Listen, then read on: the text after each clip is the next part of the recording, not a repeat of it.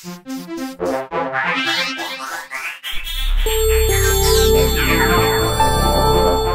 folks, Eric Shidell here, the HVAC Service Mentor. Thanks for watching and welcome back to the channel. This is going to be part two of our discussion about sensible heat ratio. If you haven't seen part one yet, stop the video and go find part one and watch that first because this one follows that. And if you start off here, you might be a little bit confused.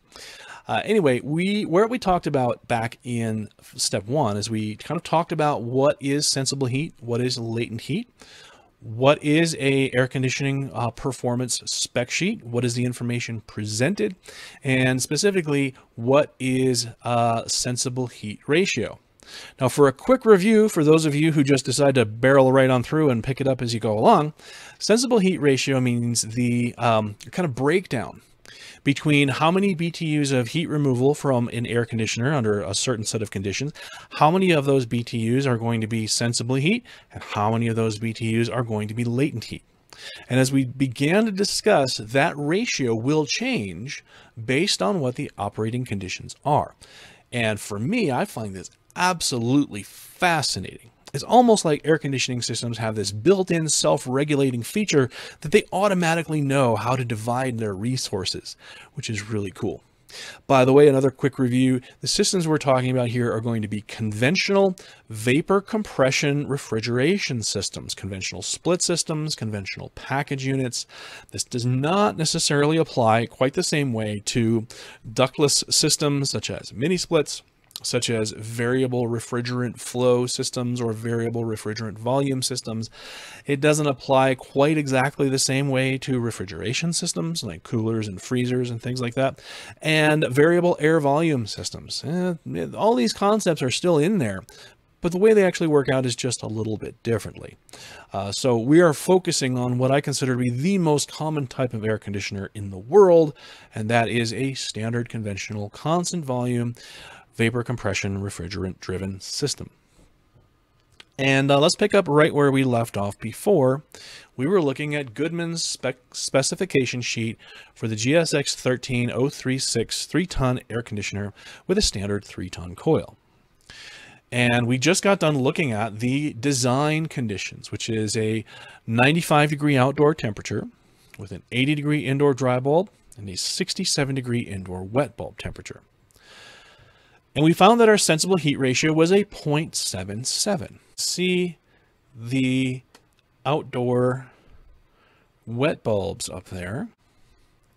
And remember that wet bulb temperatures, the best way that I like to think about wet bulb temperatures as it applies to this concept is that wet bulb is a representation of how much heat energy is contained within the water vapor in the air. The higher the wet bulb temperature, the greater amount of heat energy the water vapor represents. And this has everything to do with what is the heat load imposed upon the air conditioning system. As we change the heat load, the work that the air conditioner is presented with changes, and the way in which it performs and the way in which it does what it does will also change. So in order for you to understand how well your air conditioner is performing, you have to have a good understanding of the conditions under which it is working. You have to good, have a good understanding of the scope of the job that it's trying to do before you're able to analyze how good of a job is it doing. So let's take a look at this. Down here in the second chart from the top is our 80 degree dry bulb column. And under design conditions, we have 33.6 thousand BTU per hour heat removal with a 0.77 sensible heat ratio. This means that 77% of those 33,600 BTUs are sensible heat. They are going to be dedicated to dropping the temperature. The other 23,000 BTUs are latent heat. They are dedicated to absorbing the moisture. Now watch this. Without changing anything, other than the amount of water vapor in the air. Our wet bulb increases from 67 to 71. This represents a difference in relative humidity from 50% up to about 65%. Not a massive change, but pretty significant change in energy. Look what happens to our sensible heat ratio and look what happens to our total heat absorbed. Total heat absorbed goes up. We didn't make the compressor run faster. We didn't change the refrigerant. We didn't change the outside air temperature. We didn't change the inside air temperature. However, the amount of heat energy being presented to the AC has changed because of that latent heat value going up. As a result of the amount of work available to be done, the amount of work being done got higher. But look what happened to the sensible heat ratio. It's astounding. It changed from 77% to 58%.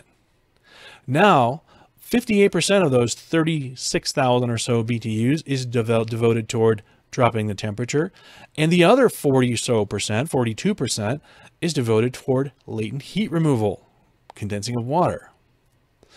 Take another look. This also has an impact on temperature difference. Temperature difference will change based on the relative humidity of the air that your air conditioner is working on. As relative humidity goes up, temperature difference goes down. This is because the amount of sensible heat being removed has gone down.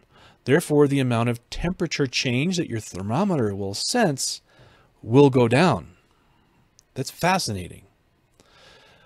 Look at it the other direction.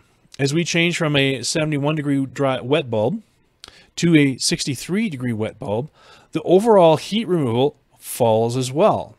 Look what happens to the temperature difference. It goes up.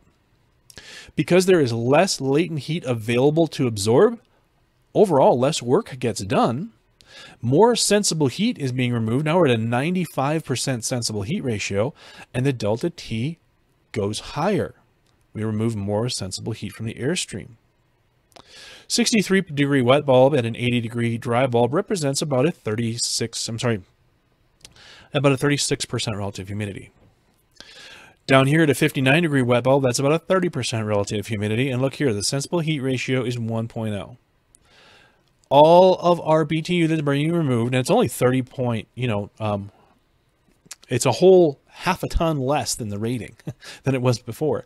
Um, 30,800 BTU. All of those BTU is now devoted toward dropping the temperature. Now that's where the chart ends. If we were to go further down into the 20% relative humidity, down into the tens, the delta T would go higher and higher. Same thing on the other end. If we get more and more humid, more and more relative humidity, the delta T gets lower and lower and lower. This is one of the keys that all HVAC technicians need to understand. And we're going to do a whole video on measuring temperature drop, and this is why. Because to know what your temperature drop is based on what your relative humidity is gives you a very great insight into how your air conditioner is removing and absorbing heat and performing in reference to a chart like this. You don't necessarily have to have this chart in front of you, which is not easy to do on the field, to be able to understand, is my air conditioner performing well or is it not performing well? Is there some kind of a problem that is hindering its performance?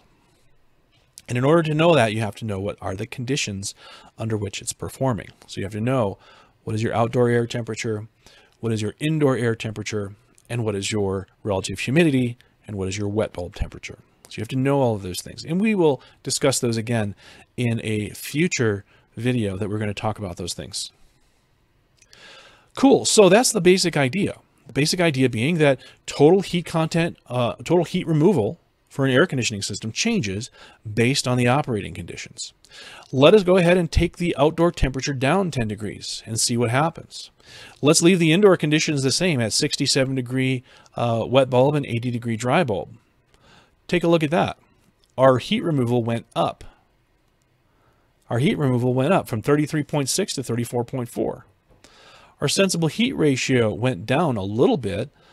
Um, delta T stayed about the same because we're still at the same relative humidity. It's still 50% relative humidity inside. The amount of amp draw went down. Um, I'm sorry, the KW went down. The amp draw went down. The head pressure went down.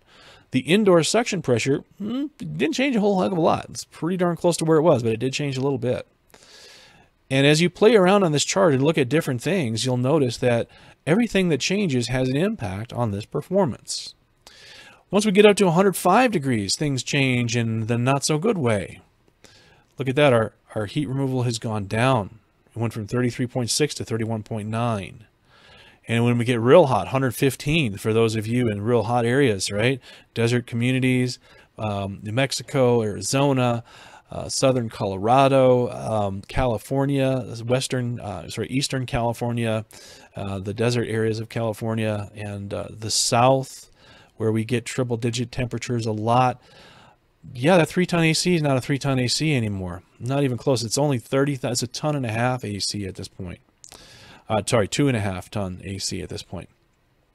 So performance makes a big difference, um, or conditions make a big difference in performance let's take a look here. We're going to do something really crazy here. Check this out. We're going to change our indoor down to um, 75 degrees. Now let's go all the way down to 70 degrees. We're over here at 95. At a 95 degree outdoor and a 70 degree indoor, we're going to be right about here. 30,000 BTU of heat removal. Amp draws go down. Everything kind of relaxes. Everything goes down. Sensible heat ratio has changed from 0.77 down to 0.68. We're doing more latent heat removal as our uh, indoor loads lighten up. Very, very fascinating that the performance changes as the conditions change, and that's all that we change. We don't change airflow, we don't change the um, refrigerant quantity, we don't change anything else but the conditions and the performance changes.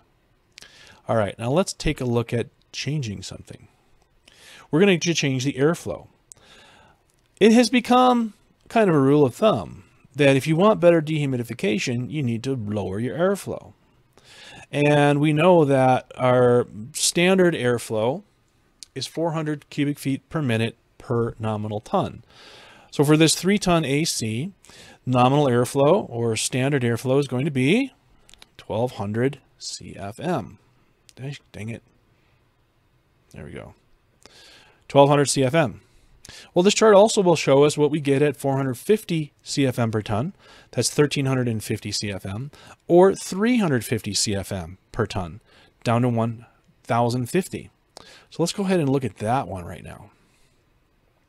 We're going to drop our CFM from 1200 down to 1050. How does that affect how our air conditioner performs? Well, the first thing that it does is it reduces the overall total heat removal from 33,600 down to 31,000. That represents a change. The amount of BTU per hour has actually gone down, which means now that we have reduced our airflow, we've also reduced our cooling ability and our cooling capacity. It's going to take the air conditioner longer to do the same job that it did in a shorter time before. We've also changed our sensible heat ratio. It's changed from a 0.77 to a 0.74. That doesn't sound like a whole lot, but you just you wait. We're going to watch what these two combinations of these two reductions does. Our delta T has remained about the same. Interesting. It has, in, in actuality, I think Goodman is being a little generous here because if we reduce our airflow that much, we are going to see a higher delta T under most conditions, um, but it's going to become more prevalent the, the, the drier it is. And under the higher humidities, 50% and above, it's not a huge difference because there's so much energy presented by that water vapor. And uh, then so on, our pressures change. Our actual, our head pressure went down. Look at that. Not a whole lot though, about 10 PSI. Our suction pressure, pretty much the same. Went down a little, but not a whole big of a change.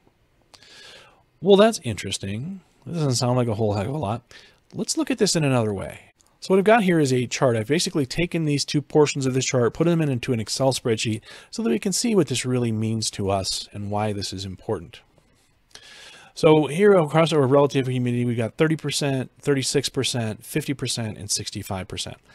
I find it a lot easier to in, convert dry bulb plus wet bulb into relative humidity because uh, relative humidity is uh, a little easier to measure, a little easier to understand from a conceptual point of view, and um, also it's really what temperature drop is based on. Dry bulbs are the same at 80 in each one. There's our different wet bulb values for uh, those of us nerds out there. Here we go, total heat removal in MBH, 1000 BTU per hour. 33.6 is our design, and it goes down as our relative humidity goes down the less work there is to do, the less work gets done. Kind of like me. Sensible heat ratios from 1.0 at 30%, 9.95 at 36% relative, uh, 0.77 at 50% relative, and 0.58 at 65%. Look at that big jump. Wow. We change 15% relative humidity and we go from a 77% sensible heat ratio to a 58% sensible heat ratio. So now I've gone and taken these sensible BTUs and latent BTUs and broken them out to make it easier to get a sense of what's going on. Back to design conditions here at 50% relative humidity, 95 degree outdoor, 80 degree indoor. Sensible heat BTUs is 25,900. Latent heat BTUs is 7,700. So what does this mean as far as water absorption goes? This means that this system, under these conditions, running steadily, will absorb or drain out 8 pounds of water per hour, which is just under about a gallon. So about 1 gallon per hour of heat removal. Let's go ahead and drop the airflow from 1200 CFM to 1050 CFM. Get that up on the screen. There we go. So reducing the airflow from 1200 to 1050 represents a change in value of 13% reduction. We have reduced the overall delivery of air to and through the evaporator coil by 13%. That has an impact. On our total heat removal at design conditions, we go down to 31,000 BTU per hour. This represents a fall of 8% of heat removal capacity in the total sense. On the sensible side, however, check this out, our sensible heat removal went all the way down to 22,900 BTU. This represents an 11% change in the sensible heat removal capacity of this air conditioner. But look what happened to our latent heat removal. Overall, the, the, the sensible heat ratio uh, went up a little bit, and our latent heat removal went up very little. It went up from, uh, what was it before? 7.7 uh, up to 8.1, 8,100 BTU per hour. This actually represents an increase of 4%. Now the combination of the reduction of our sensible heat ratio, our sensible heat removal, and the increase of our latent heat removal has a pretty big impact. Doesn't sound huge, but it ultimately does. And here's why. When we reduce our sensible heat removal capacity by 11%, this means that our air conditioning system has to run longer just to maintain the temperature set point. Imagine that this air conditioner is running under design conditions. Imagine that the set point indoors is 80 degrees, which most people don't like, I understand, but just bear with me for a minute. And the outdoor temperature is 95 degrees, and this thing is just running to maintain set point remember that the thermostat on the wall controls to sensible temperature. Because we have now reduced the rate at which this air conditioner changes the sensible temperature by 11%, that means that every time it runs, every time it cycles to maintain set point, it will run 11% longer. For every hour, that means it's going to be about seven minutes longer per run cycle. Meanwhile, while it is running, it is absorbing 4% more latent heat energy or 4% more water vapor. And uh, what this basically breaks down to is the combination of the longer runtime plus the greater latent heat removal means that for every run cycle, just maintaining set point, this unit will pull an extra six ounces, six ounces of water out of the air than it would maintaining set point at 400 CFM per ton. Now, there's a downside to this. That all sounds great, especially if you're in a humid climate, which is true. However, you have also just reduced the ability of this air conditioner to maintain set point or to um, to cool the house down. So if we have in a, uh, if we have a setback happening, people leave during the day, temperature goes up, when they come home at night, it might take forever to get that temperature down. So maintaining even temperatures is part of the key to um, having happy indoor environments and happy air conditioning systems. On the other hand, we may be able to tolerate a higher indoor set point with a greater latent heat removal. which means that we're going to be more comfortable at a higher temperature, which can potentially save a little bit of energy, but at the very least have us warmer, uh, or at least drier, not warmer, but drier. Now, there is a lot more to think about here. You could literally spend a day or two just poring over this one specification sheet and imagining different performance scenarios and analyzing how does this change the way the air conditioner performs. And honestly, that's a really great exercise to get into, to get started into. But what I wanted to do today is kind of lay the groundwork to identify that, yeah, as we all know, there's a sensible heat and a latent heat. And latent heat has to do with moisture removal. But the ratio of sensible to latent heat removal will change based on the operating conditions. The more heat energy there is to be removed, magically the more work the air conditioner does without changing anything. And that's that's pretty cool. But for you as a technician, if you're analyzing the performance and if you're measuring your temperature drop, what does it mean? Is it the right temperature drop? Well, the answer is, well, it depends. It depends on the operating conditions. So uh, make sure you subscribe to the channel if you haven't yet, because we're going to get deeper into some of these concepts as we move further. We're going to be talking about measuring temperature drop. We're going to be talking about measuring wet bulb, measuring relative humidity, and plugging all those numbers together to say, hey, is my air conditioner working correctly or is it not? And we're going to be talking about airflow in there too. We're going to be talking about outdoor temps. We're going to be talking about SEER be talking about all kinds of really interesting things that the better you can understand them, the better and more effective you're going to be in the field. All right, folks, thank you so much for tuning in. Uh, I hope you found this valuable. Please make sure you like and subscribe to the channel. By the way, if you're interested in more uh, interesting help you get better in the field kind of training, that's what I do. And you can see a lot more of it at my website at www.hvacservicementor.com. Thanks for watching, folks. I'll see you next time.